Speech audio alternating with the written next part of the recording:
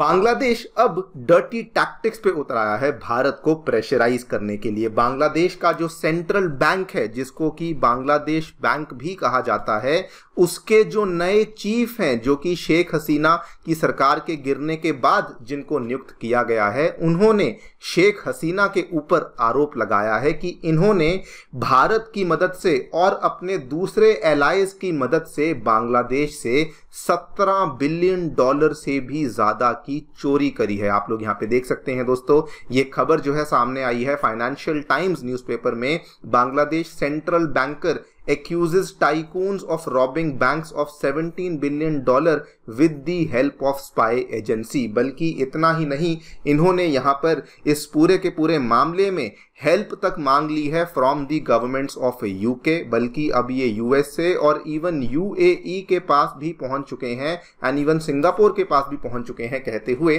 कि हम चाहते हैं कि आप पता करिए कि एग्जैक्टली exactly जो ये पैसा है, ये बेसिकली कहाँ गया है? इसी के बारे में दोस्तों, हम लोग बातचीत करने वाले हैं कि एग्जैक्टली exactly यहाँ पर क्या क्या आरोप हैं जो कि लगाए गए हैं। इंडिया का एंगल कैसे इसके बीच में इन्होंने इंट्रोड्यूस किया है एंड ऑल्सो समझेंगे कि आखिरकार ये वाली जो नई तरकीब है, ये बांग्लादेश के द्वारा क्यों इस्तेमाल करी जा रही है? आइए शुरू करते हैं मेरे साथ। मेरा नाम है अनिरुद्ध। यदि आप लोग हमें फॉलो करना चाहते हैं, हमारे लेक्चर्स के अपडेट्स को प्राप्त करना चाहते हैं तो यहाँ पर दिए गए टेलीग्राम चैनल्स के माध्यम से ऐसा कर सकते हैं। दोस्तों, आगे बढ़ने से पहले आप सभी के लिए दिवाली के उपलक्ष्य में अन अकेडमी एक बहुत ही शानदार ऑफ़र लेकर आई है, जिसमें कि हम लोगों ने, हमारे सभी सेंटर्स में हमने जो जीएस कोर्सेज हैं उनके प्राइजेस को कम करते हुए केवल 59,999 पर ला दिया है। हमारे जो सेंटर्स हैं वो नई दिल्ली के करोलबाग नई दिल्ली के मुखर्जी नगर एवं उत्तर प्रदेश के प्रयागराज एंड बिहार की राजधानी पटना में आ चुके हैं। इन सभी सेंटर्स में जीएस कोर्सेज के साथ साथ आपको C SAT essay writing classes current affairs coverage और टेस्ट सीरीज़ जैसी सेवाएँ भी अवेलेबल करवाई जा रही हैं। फिर भी कोई डाउट है कोई भी क्वेरी है आप लोग या तो नीचे दिए गए फ़ोन नंबर्स पर फ़ोन कर सकते हैं या फिर अगर आप इन शहरों में रहते हैं तो हमारे सेंटर्स को विज़िट भी कर सकते हैं। Free study material Unacademy magazine UPSC syllabus ऐसी चीज़ों को पाने के लिए हमारी नई ऐप को डाउनलोड कर सकते हैं। इसका लिंक भी डिस्क्रिप्शन बॉक्स में नीचे दिया गया है। All right directly coming to the point basically Bangladesh का जो सेंट्रल बैंक है, जिसको हम लोग बांग्लादेश बैंक बोलते हैं, उसके जो नए चीफ हैं, वो रिसेंटली अपॉइंट किए गए हैं। ये वाले जो नए चीफ हैं, आपको बता दूँ, इनकी फ़ोटो आप यहाँ पे देख सकते हैं। इनका नाम है एहसान मंसूर, और ये पहले आईएमएफ में काम किया करते थे, इनको रिसेंटली बांग्लादेश के सेंट्रल बैंक का मुखी बनाया गया है। इन्होंने कहा है कि शेख हसीना की जब यहाँ पर रजीम चल रही थी तो उन्होंने दो तरह के लोगों के साथ एक तो बांग्लादेश में जो बड़े बड़े व्यापारी हैं, जो बड़े बड़े बांग्लादेशी बिजनेसमैन हैं एंड दूसरे जो इनके पॉलिटिकल एलाइज हैं, जो कि कंट्री के बाहर भी थे, जो कि इनकी रजीम को सपोर्ट कर रहे थे, उनकी मदद से इन्होंने बेसिकली 17 बिलियन डॉलर्स का पैसा है, जो कि बेसिकली बांग्लादेश के बैंकिंग सेक्टर से चुरा लिया है। इन्होंने यहाँ पर कहा है कि जब ये शेख हसीना बांग्लादेश को छोड़ करके भाग रही थी तो उस टाइम पर भी ये सारी की सारी जो इनको पैसे में इनकी जो मदद करी गई थी, ये बांग्लादेश की जो मिलिट्री की directorate general of forces intelligence है उनकी मदद से बेसिकली इस पैसे को ये बांग्लादेश से बाहर कर पाई हैं। और इन्होंने, बल्कि एग्जैक्टली exactly बताया भी है कि दो तरीके हैं, जिस तरीके से इन्होंने, एक तो बहुत सारे जो लोकल व्यापारी थे, उनको बहुत पैसा बनवाया है एंड खुद के लिए दूसरे देशों में पैसा जमा किया है। वो कैसे किया है? पहला तरीका तो ये कि जो लोकल व्यापारी थे मतलब कि जो बांग्लादेशी, जो डोमेस्टिक बिजनेसमैन थे, उनको इन्होंने जानबूझ के बड़े बड़े लेवल पे लोन्स दिलवाए हैं। इतने लोन्स उनको रिक्वायरमेंट नहीं थी। एंड इन्होंने ये तक कहा है कि एक समय ऐसा आ चुका था कि बांग्लादेश में जो बड़े बड़े व्यापारी, जो बड़े बड़े बिजनेसमैन हैं, वो बैंकों में जाकर के खुद ही अपने आप को लोन्स दे रहे थे एंड कोई इसको लेकर ऑडिट नहीं कर रहा था। एंड दूसरा, इस पैसे को बांग्लादेश से बाहर भिजवाने के लिए इन्होंने इन्फ्लेटेड इम्पोर्ट इन्वॉइसिस तैयार करवाई हैं, जिससे कि पैसा बेसिकली बांग्लादेश से बाहर जाता था, लेकिन वो पैसा दूसरी कंट्री तक नहीं पहुँचता था, वहाँ पर शेख हसीना इस पैसे को संभाल रही थी। This is where the point of India comes in because हम सभी जानते हैं दोस्तों कि साउथ एशिया में बांग्लादेश और भारत का जो व्यापार है, ये बहुत बड़े लेवल पे चलता था। बांग्लादेश भारी मात्रा में इंडिया से सामान मंगवाता था और यहीं पर इन्होंने एक तरीके से बेसिकली इंडिया को निशाने पे ले रखा है। इन्होंने, मैंने आपको स्टार्टिंग में बताया, इन्होंने कंपनीज़ को तो इस तरीके से टारगेट किया है। एक बहुत बड़ा इंडस्ट्रियल कॉन्ग्लोमरेट है बांग्लादेश में। आपने शायद नाम भी सुन रखा होगा, एस आलम ग्रुप, जैसे हमारे भारत में रिलायंस इंडस्ट्रीज़ का बहुत बड़ा कॉन्ग्लोमरेट है।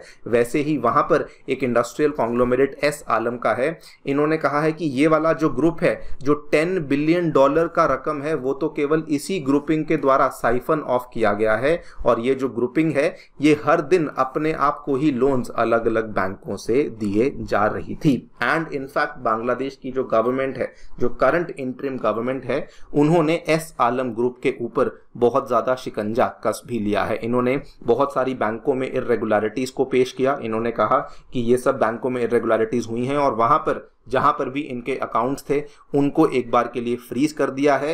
And even S Alam group के जो ओनर हैं, इनके जो फैमिली मेंबर्स हैं, इनके ऊपर ट्रैवल बैन भी बांग्लादेशी इंटरिम गवर्नमेंट के द्वारा इम्पोज कर दिया गया है। खैर जो एस आलम ग्रुप है, उन्होंने इस चीज़ को लेकर लीगली रिप्लाई किया है कि इन चीज़ों में कोई भी सच्चाई नहीं है। और उन्होंने तो बल्कि ये भी कहा है कि जो इंटरिम गवर्नमेंट है, ये जानबूझ के एस आलम ग्रुप को टारगेट कर रही है और दूसरे बिजनेसमैन को टारगेट कर रही है। बल्कि इन्होंने ये कहा कि जो बांग्लादेश की इंटरिम गवर्नमेंट है, ये ड्यू प्रोसेस को भी फॉलो नहीं कर रही, जो कि ये अलग अलग बिजनेसमैन को इस तरीके से टारगेट कर रहे हैं। नाउ ये पूरी की पूरी बात सरप्राइजिंग बन जाती है फॉर टू मेजर रीजन दोस्तों, ये जो आरोप लगाए गए हैं, ये बांग्लादेशी बैंक के जो चीफ हैं, उन्होंने आरोप लगाए हैं। जब इसी चीज़ को लेकर बांग्लादेश की आर्म्ड फोर्सेस के पास जाकर के इंक्वायरी करी गई, उनसे पूछा गया तो उन्होंने किसी प्रकार का कमेंट नहीं दिया। दूसरी बात, अगर इतने बड़े लेवल पे फाइनेंशियल इरेगुलरिटी चल रही थी देश में, इस चीज़ का एविडेंस अभी तक कभी भी इस चीज़ का ज़िक्र तक सामने नहीं आया था।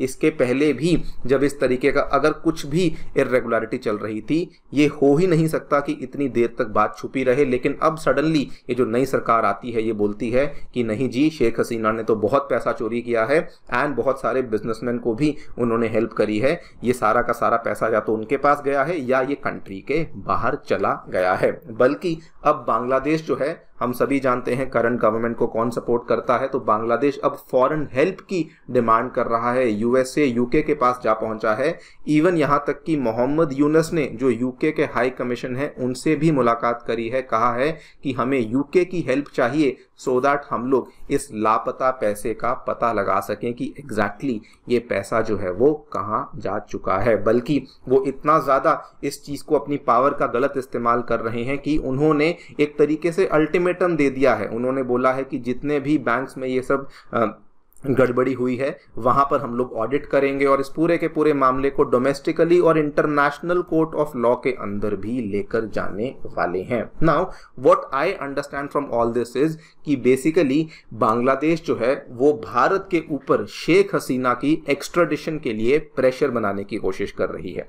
आज से दोस्तों, एक हफ़्ता दस दिन पहले की बात है, बांग्लादेशी ट्रिब्यूनल ने शेख हसीना के खिलाफ अरेस्ट वारंट को इशू किया था। और हम सभी जानते हैं कि इंडिया और बांग्लादेश के बीच में एक्स्ट्राडिशन ट्रीटी को साइन किया हुआ है। लेकिन बांग्लादेश यहाँ पर प्रेशर इस तरीके से बनाने की कोशिश कर रहा है कि अगर कहीं ना कहीं ये प्रूव हो जाता है कि शेख हसीना के द्वारा कोई फाइनेंशियल ऑफेंस किया गया था तो उस केस में भारत मजबूर हो जाएगा शेख हसीना जी को एक्स्ट्राडाइट करने के लिए। आप लोग यहाँ पे देखिए, ये दोनों देशों के बीच में जो ट्रीटी साइन हुई है, इसमें दो तीन कंडीशंस हैं। पहली बात तो ये कि जो भी अपराध किया गया है, उसकी सजा कम से कम एक साल की होनी चाहिए। दूसरी बात, जो भी अपराध किया गया है, दोनों कंट्रीज़ में पनिशेबल होना चाहिए।